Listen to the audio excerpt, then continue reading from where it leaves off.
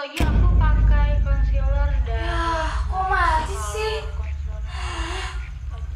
Din, listrik mati nih. Di token sana. Biar gak merinding disco, langsung isi tokennya di SRC sebelah. Bisa lebih cepat dan hemat karena dekat dari rumah.